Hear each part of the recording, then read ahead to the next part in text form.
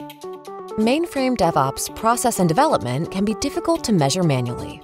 Teams and knowledge may become siloed, while bottlenecks in the software development lifecycle and the root cause of errors go undetected and unaddressed.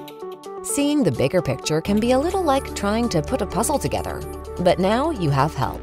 BMC Compuware Z Advisor uses machine learning to give a comprehensive view of mainframe development and operations behavior via key performance indicators.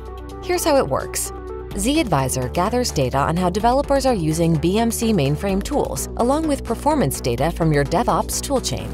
Then zAdviser generates KPIs offering new insights into how your team works and what may be helping or hindering progress, so you can make evidence-based decisions toward improvement. zAdviser even measures your team's activity, so you can identify driven developers willing to break down silos and get things done. The more data gathered, the more intelligent zAdviser becomes to guide you with product usage metrics and DevOps data that uncover correlations between mainframe developer behaviors and DevOps KPIs, measuring quality, velocity, and efficiency to help you continuously improve.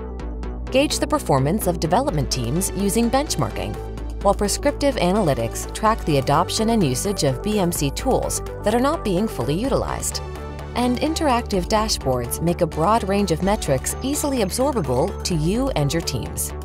Embrace an agile delivery model based on continuous learning, improvement, and better business outcomes. Get started with zAdviser from BMC today.